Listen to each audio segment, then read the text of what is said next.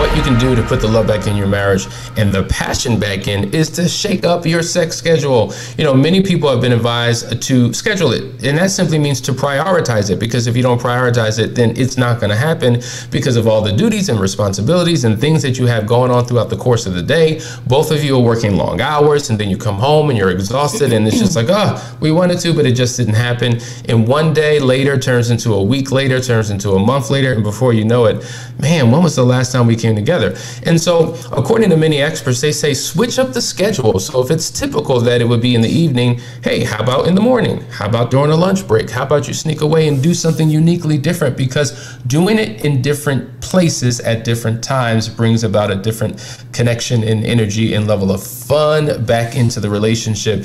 And that's what you have to do. Get out of the monotonous way of doing things because if it's predictable and normal and we know what's going to happen before it happens and it's the same routine, then it feels like a chore. It's like uh, vacuuming and laundry and dishes, and here we go again. Sex check. vacuuming, laundry, and dishes.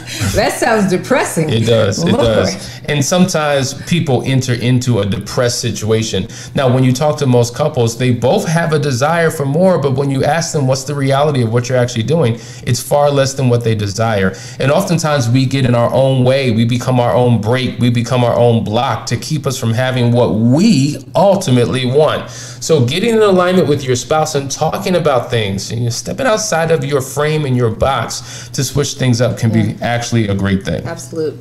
The next point, the next point, point number four, schedule weekly date nights. Now, we just talked about intimacy, but we're talking about dates. You know, there was a time when you were in the dating season of your relationship. We talk about the four seasons of a successful relationship the dating season, committed courtship, engagement, and then marriage. But sometimes when we say I do, we stop dating. We no longer do what we did to win that spouse into the relationship in the first place. And you want to create a regular routine. So, going back to the concept of rituals of connection, one of those rituals is to play, right? So, that's that date night, it's the hobbies, it's the shared experiences that bring about a level of fun and connection in your relationship. I, I, the date night part is so big. I mean, we always talk about how when we, you know, go throughout the week, we're so busy because we work together. Hassani and I are always together, right? Mm-hmm. I'm here with him right now, but this is not quality time. This doesn't count. And a, lot,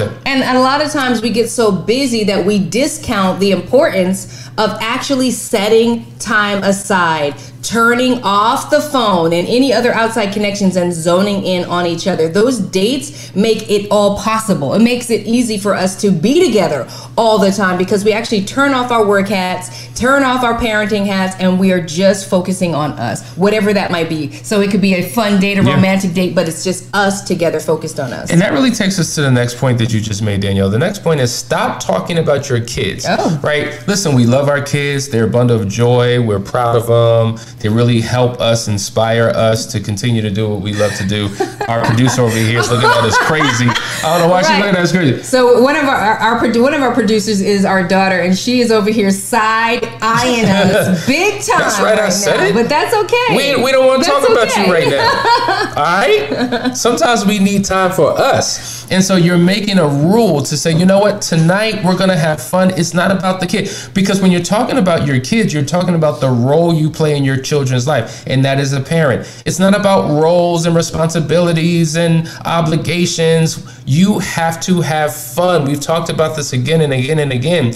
Many of us, truth be told, we've talked about the difference between your marriage and your relationship. Your marriage focuses on your partnership your relationship focuses on your companionship. And many of you, when if I were to ask you to rate your marriage, right?